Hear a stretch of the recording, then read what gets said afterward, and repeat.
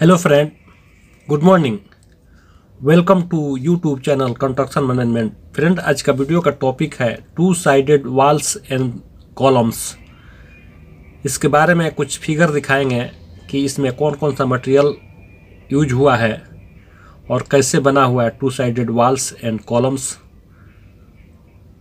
उसके बारे में पूरा डिटेल देंगे. टॉपिक हम लिख देते हैं.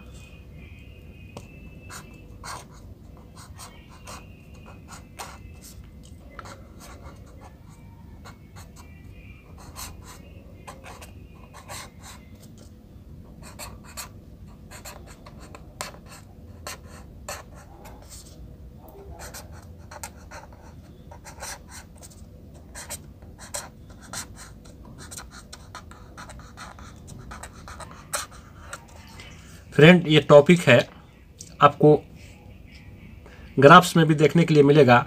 साथ साथ में आप ग्राफ देखेंगे साथ साथ में आप ड्राइंग में कुछ देखने के लिए नॉलेज मिल जाएगा कि two sided walls and columns में कैसे ड्राइंग में आता है और किस तरह से उसको कौन कौन सा मटेरियल दे करके, लगा करके अलाइनमेंट करके और उसको सही किया जाता है।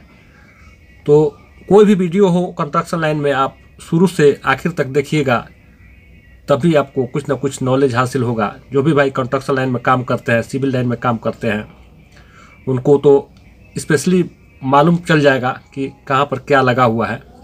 तो चलिए, वीडियो को हम शुरू करते हैं। पहले हम दिखाते हैं, यहाँ पर देखिए, यहाँ पर टॉपिक भी दिया हुआ है two sided walls and columns सबसे हम पहले बात करेंगे वॉल्स का, कि वाल्स कैसे बना हुआ है।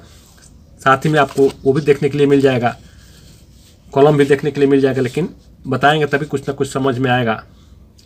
सब सेक्शन दिया हुआ है, सब कुछ है यहाँ पर। पहले हम बात करेंगे टॉप लाइन का। टॉप लाइन में, सबसे पहले टॉप में, स्पॉन्डेड, स्पेंडेड पैनल। स्पेंडेड पैनल मतलब उसका टॉप लेवल में जो भी होगा, जो हाइट में होगा, कंक्रीट का कास्टिंग वहाँ पर। स्पॉन्डेड टाई, यहाँ पर टाई राड भी लगा हुआ है, देख रहे हैं आप। जो भी फिगर देख रहे हैं लाल टाई राड है और विंग नट फ्लेट है और ये टॉप लेवल का स्टोपेंड है। अब हम बात करेंगे यहाँ पर पैनल का। कुछ भी दीवार खड़ा करने के लिए पैनल ही लगाएँगे ना, पैनल साइड में लगाएँगे, दोनों साइड में पैनल होगा। बीच का जो कंक्रीट का रास्ता जितना होगा कितना क्या फोर्टी सेंटी आप सामने देख रहे हैं तो फोर्टी सेंटी है। टाई राड है। टाई राड को दोनों साइड लगा करके, उसके बाद मेजरिंग करके, नापी करके, उसके बाद ड्रिल से, उसको ड्रिल से ड्रिल किया जाता है, छेद किया जाता है होल किया जाता है। उसके बाद से टाई राड इधर से, इस वाल से, इस वाल तक पहनाया जाता है। उसमें टाई राड बीच में होता है, बाद में पीवीसी पाइप होता है। टाई राड का थिकनेस जो है फिफ्टीन एम mm है। फिफ्टीन मैंने पंद्रह सेंटी का, पंद्रह एम mm का ना इसका थिकनेस है, उसके बाद से कास्ट स्टील कास्ट स्टील ये लंबा जो उसमें रहेगा स्टील का आता है, एक ब्राकेट खड़ा करके उसमें, उसी बीच में होल रहता है, उसके, इसे टाई राड डाल देंगे। डाल करके उधर विंग नट और प्लेट डाल देंगे दोनों तरफ़ में। उसके लिए टाई रट रहता है। काउंटर प्लेट टाई रट जो डालते हैं, उसके पहले टाई रट पहले पड़ेगा, उसके बाद से पीवीसी पाइप सेंटर में पड़ेगा और ये प्लेट बाहर रहेगा, उसके बाद विंग नट जो है ना विंग नट लगा देते हैं। अब देखेंगे, आपका फाउंडेशन का ये, आप एरिया नीचे फाउंडेशन हो गया, उसके ऊपर से ये वाल को खड़ा करते हैं। तो यहाँ पर साइज़ दिया हुआ है टू फोर्टी वन ट्वेंटी और सिक्सटी सेंटी यानी टोटल हाइट इसका फोर मीटर ट्वेंटी सेंटी होता है। अब यहाँ पर देखिएगा push pull bar push pull props यहाँ पर है, ये देखिए पुश पुल प्रॉप्स आगे भी किया जा सकता है, पीछे भी किया जा सकता है, ये पुश पुल प्रॉप्स को। वॉक वे ब्राकेट मतलब यहाँ पर आदमी को खड़ा होकर के काम करने के लिए ब्राकेट लगा हुआ है। एवरी थ्री मीटर तीन मीटर पर जो है ब्राकेट लगा हुआ है। लगा करके और ये पुल पुश प्रॉप जो है, सामने है। फ्रेंड इसका साइज़ जो है forty centi four hundred M M है मतलब फोर्टी सेंटी हो गया, कह सकते हैं आप फोर्टी सेंटी ये टू वे वाल्स है। उसके बाद हम कॉलम का बात करेंगे। तो कॉलम में देखिए, सबसे पहले सबसे पहले जो भी बेस होता है बेस फाउंडेशन का जो बेस हुआ फाउंडेशन का जो बेस होता है, उसका एक फ्रेम बनाया जाता है। फ्रेमिंग कॉलम के कितना साइज़ का फ्रेम है कॉलम है, उसके साइज़ का फ्रेम बनाया जाता है। फ्रेम बना करके फाउंडेशन से टेन सेंटी उसको ऊपर तक कास्टिंग किया जा सकता है। टेन सेंटी टेन सेंटी ऊपर कास्ट करने का मतलब हो गया कि बरोबर आपका प्रॉपर आपका वो कालम का साइज़ नीचे मिलेगा और उसके बाद से अलाइनमेंट करने के बाद प्लम लगाने के बाद ये जो है बराबर राइट एंगल में मिलेगा और आपका साइज़ जितना का होगा उतना में मिलेगा। उसके लिए स्टार्टर बार कह लीजिए या बेस कह लीजिए। इसको एक्चुअल में स्टार्टर बार ही कहते हैं। और उसके देखने का फ़ायदा आप आगे चल के दिखाएँगे हम कॉलम में कॉलम में कैसे इसके क्या बेनिफिट है उसको आप देख लीजिएगा। अब यहाँ पर हम बात करेंगे कॉलम का। सबसे पहले टॉप में इसका फोल्ड ब्राकेट आप देख सकते हैं लिखा हुआ भी, भी है इसका फोल्ड ब्राकेट इस पर लगा हुआ है इसमें पिन रहता है ऑलरेडी कास्ट प्लेट में। टाई रट के साथ उसको नट बोल्ट में टाइट किया जाता है। उसके बाद इसी तरह से फिगर जो है ना ग्राफ रहता है, यहाँ पर टिम्बर लगता है, चाहे ट्यूब पाइप लगा लीजिए, यहाँ पर ट्यूब लगा लीजिए, यहाँ पर। एक्चुअल में इसमें ट्यूब नहीं आता है, वो सेफ्टी का वो वाइट वुड आता है। वाइट वुड जो आपको वीडियो में मिला होगा, मैं दिखाऊँगा, दिखाया भी हूँ कि four metre by twenty centi का थिकनेस उसका फाइव एम mm होता है, वो वाइट वुड आता है तो उसको सेफ्टी में सेफ्टी के लिए इस्तेमाल करते हैं। इधर पर हुक है ये, इसमें डाल देंगे। एवरी थ्री मीटर पर डाल करके लंबा वुड होता है, उसमें ज्वाइंट भी कर देते हैं। उसके बाद सेफ्टी बेल्ट बांधना हो तो सेफ्टी बेल्ट भी बाँध सकते हैं। उस पर, इस इस पर टिम्बर रखेंगे, यहाँ पर four metre by twenty centi का तीन टिम्बर रखेंगे।